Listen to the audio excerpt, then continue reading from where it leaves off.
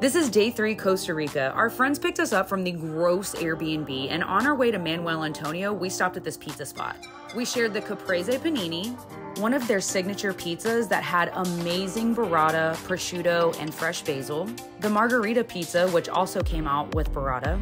Then we shared an order of this chicken lasagna that was low key fire. It was so creamy and cheesy and had so much chicken. We spent about a hundred bucks per couple. Then we sat back and enjoyed the scenic two hour drive. We stopped in Jaco to catch the sunset. It was so freaking pretty. The Airbnb was about 30 minutes away from here and it was absolutely insane. I have a separate walkthrough video for that, so stay tuned. We had tequila shots before dinner and Milagro is death. I don't recommend shooting that. The restaurant just down the street and a little touristy because it was kind of pricey. We shared the seafood ceviche and it was just okay, but the chicken consomme was great. We had a round of passion fruit margaritas before the entrees came out. The beef churrasco with grilled veggies was just okay.